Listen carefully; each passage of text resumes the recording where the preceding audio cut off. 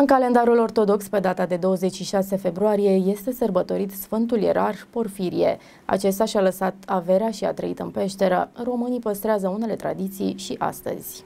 Sfântul Ierar Porfirie este pomenit în calendarul creștin-ortodox în ziua de 26 februarie. Este originar din Tesalonic, fiu de părinți bogați, care a lăsat casa tatălui său, pe frații săi și averea și a plecat în pustia din Egipt, la vârsta de 25 de ani și s-a făcut mona. După 5 ani s-a dus să se închine la locurile sfinte și a rămas într-o peșteră lângă Iordan. Aici a început o viață de asceză deosebită cu post și rugăciune neîncetată. S-a îmbolnăvit însă grav și a fost nevoit să meargă la Ierusalim. În popor se credea că norocul sau ghinionul pe care îl ai în ziua de luni te va urmări toată săptămâna. De aceea e bine să știi cum să atragi soarta cea bună și cum să te ferești de nenoroc. Se zice că așa cum îți merge lunea, îți merge toată săptămâna și mai ales lunea cea din tâi la începutul lunii. Lunea nu se dau bani, nu mai se iau. Luni să nu dai nimic din casă, să dai toată săptămâna și nu se ține lucru în casă. Luni, dacă dai ceva din casă cuiva, acela poate să-ți ia tot sporul și norocul. Nu e bine să te tunzi, să te bărbiere sau să stai unghiile în ziua de luni. Toate aceste aceste părți ale corpului sunt încărcate cu energie benefică pe care trebuie să o folosești luni, nu să o risipești, astfel îți va risipi și bafta ta. Luni să postești pentru viață și să ai zile lungi. E de mare ajutor pentru noroc și orice. Pentru sănătate la om și la vite, dar de se înfruptă, omul se îmbolnăvește. Cine postește lunea va avea noroc și se îndeplinește orice dorință. Relatează newsweek.ro